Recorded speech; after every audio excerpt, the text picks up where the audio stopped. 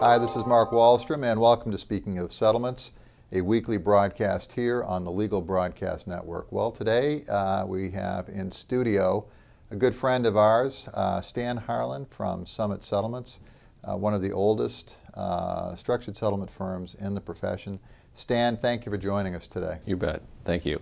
Stan, uh, as you know, uh, having been at this for so many years, the role of being a general agent in the structured settlement business has been constantly evolving. Uh, in many ways, it's changed uh, rather dramatically from when you started to, uh, to even 15 years ago. Uh, the expectations of brokers, the increase of planners. Uh, but before we get into all of that, I'd like you to talk uh, to people a little bit, give them a little bit of history on Summit. talk about how you got into the structured settlement business and how you decided to form Summit Settlements. Well, it was about 34 years ago. I did my first case. It was a referral with um, a case that was a million dollar settlement after attorney fees, expenses. Uh, the claimant took a quarter million dollars in cash, and we structured uh, a quarter million dollars my very first case. And uh, probably within a year, year and a half, in keeping track of this individual, I found out that the original 250 he took in cash uh, went very quickly. He uh, bought some uh, jet skis and a Corvette and a few other things, loaned some money to friends.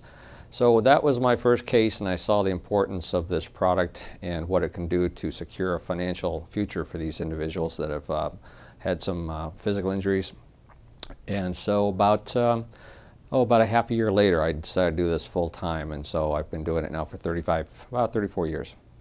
Uh, Stan, uh, another thing that has changed quite a bit over the years is the fact that when the industry started, it was almost exclusively defense brokers. Uh, over time, uh, plaintiff experts and plaintiff brokers came into the business, and now there's a healthy mix of plaintiff experts, defense uh, experts, and a lot of people who do work for both. Tell us a little bit about what's going on with uh, Summit. How do you handle that dual role?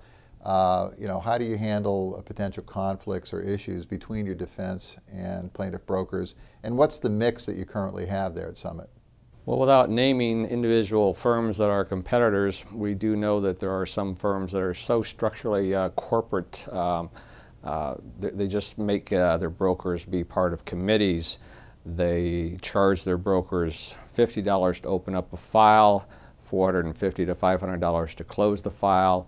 Uh, it's just so uh, much of a corporate world and bureaucracy that the, uh, the brokers just don't care for that. Our model is to hire the uh, independent contractors that have the expertise and, the, and uh, the years experience to do this work themselves. They usually want to be left alone. They want to be uh, uh, nobody watching over their shoulder as long as they do professional, good quality work. We're fine with that.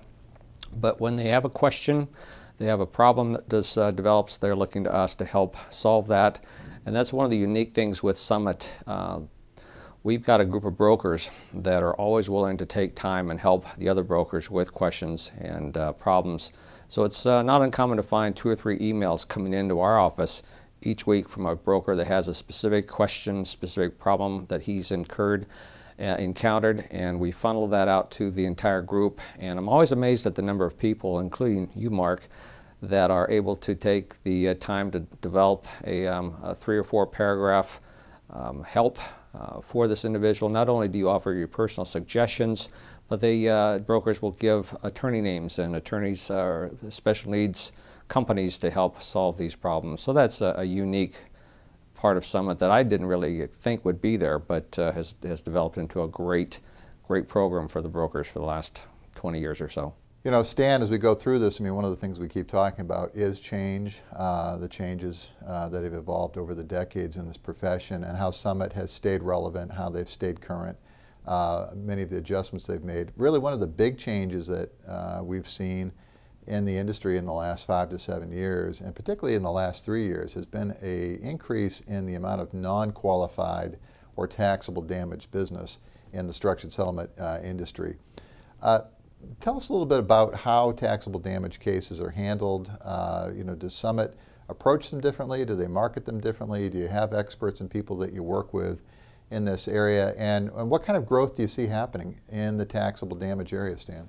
We are seeing much more of it. In fact, Mark, you yourself are doing most of your work in this area, so we sometimes will look to you as the expert uh, in some of those uh, cases we work on. But it's getting to be more and more uh, a larger percentage of our business. The unfortunate part is uh, we only have two or three life markets that are truly into the non-qualified business. But we stumbled onto our first case about six years ago. It was a case involving uh, the state of Iowa. It's on public record. A professor at one of the universities uh, sexually harassed one of the uh, uh staff, and this lady sued the state. The first award netted her zero. She hired another attorney. The uh, second award, second trial netted $3 million. The state of Iowa appealed again. And about six weeks before the third trial began, we were brought in and based on what we could do with the funds in a non-qualified, putting this, these funds in a tax-deferred status, we were able to do more with less, and we had that case settled in three weeks to um, the delight of both defense and, uh, and plaintiff. So that was our first experience in um, taxable damages. We did, um, interesting enough, another sexual harassment case for this lady's sister on a totally uh, different uh, related matter, and we've done a number of uh, employment disputes. We've had a uh, income disability dispute where a doctor had lost the use of a hand. He was a surgeon. There was dispute, and we settled that one also with a non-qualified. It's just ability to put 100% of the money away to earn interest, and the taxes are then paid out. Uh, are paid on those funds when they're received over the years. Stan, one of the things that we've noticed, uh, again, uh, this whole constant idea of change is that there has been a saturation of the traditional personal injury area as far as marketing and coverage. And by that I mean uh, most of the property casualty companies, most of the major self-insureds have structured settlement companies or brokers or experts they work with. Uh, many of the major trial lawyer groups and trial lawyers around the country have their own uh, experts on the plaintiff side that they work with. But the, the one area that's seen a lot of change, a lot of growth, is the use of qualified settlement funds or 468B uh, settlement trusts. Are you, are you finding that life markets in particular are, are more accepting of the use of multi-claimant 468B cases now than previously, let's say five or particularly 10 years ago? when it was a novel concept. Uh, now it seems fairly routine. What, what are you seeing from the life market? As long as there are truly multiple claimants, we're fine. Most of the life markets will in fact work with us. The problem has been uh, there's a definition of how many claimants make up a multiple claimant file. For instance, a, uh, a mother and children with the death of the uh, father is, in my opinion, a single claimant unit However, most of the life insurance companies view that as multiple claimants, and at this point, they are not willing to structure uh, the settlement through a QSF. A few are, and that's really unfortunate. We hope to help educate the life insurance companies more so that we would have more acceptance of that type of case. But the QSF, the Qualified Settlement Fund, has been used uh, by a lot of brokers to on the, the bad side, I guess, to cut a uh, defense broker out, and that's something that we at Summit uh, abhor. We do not tolerate. One of the biggest problems we have with uh, single claimant QSFs is it, be, it does limit the available life markets, and if a broker is accessing a qualified settlement fund just to have control of the case, because it's a limited market uh, to that, that specific case, you may lose some competitive advantages from some of the life markets that might have taken it had this settlement just gone the traditional uh, 10482 uh, assignment concept. Stan, another big change and something that all brokers, all planners, and all advisors are running into is the increased amount of compliance uh, that goes on and regulatory scrutiny of what we do. A lot of brokers have dual licensing. Some of them are uh, casualty uh, brokers, some are, are, life only, some are just annuity. Some are registered reps, some are registered investment advisors. Uh, with all of the regulation and all the licensing issues that are going on, uh, just talk a little bit about the challenge of compliance and licensing issues that you face. Well, I'd say that really goes back to the early 80s before the uh, 130C allowing qualified assignments. Back at that time, the defendants or their casualty insurance, insurance companies purchased and owned the annuities. So a structured settlement broker only had to be licensed in the state in which the uh, purchase was made.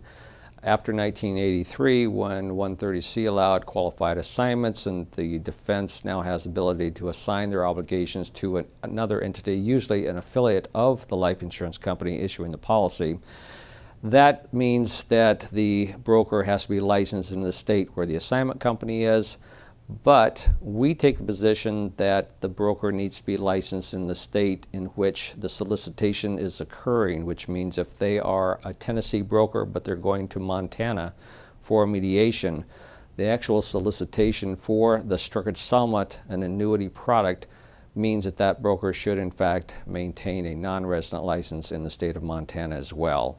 It's not uncommon to find say, a family from Ohio that's on vacation in Florida, driving an enterprise rental car that may have a corporate office in California. Uh, they get hit by somebody else driving a budget car, and their budget is sliced, uh, registered in uh, New York, and the claimant's um, uh, attorney may be in another state. The mediation may be in uh, Georgia the whole thing comes down to what we feel the broker must be licensed in the state of Georgia as well as the state in which the assignment company is that's going to fund the actual annuity. And, Stan, as we talk about this, I mean, how do you ride herd on that? You know, it's a full-time job, I've got to imagine, for Summit to, uh, you know, keep an eye on all of this. And is the fact that you work with Summit, is that, and that you guys are careful about compliance and the way that you manage these things and the way you stay on top of it, is that one of the benefits of being a broker or a planner that's affiliated with Summit? Well, it's hard to police all of that. We insist that the brokers maintain a resident license in the state that they, uh, they live, as well as a non-resident license in every state where the life insurance company has the qualified assignment firms. Where they do their business, it's just a, a common courtesy that they have to us and we have back to them that they are in fact doing the appointments. But at any given day, we don't know and don't really have a need to know where the brokers are in mediations. But generally, it's going to come down to uh, we're going to require it if we find out. Well, Stan, last question. Uh, as we've, you know, the, the ongoing uh, issue we've talked about is change and how Summit has continued to stay relevant over the years.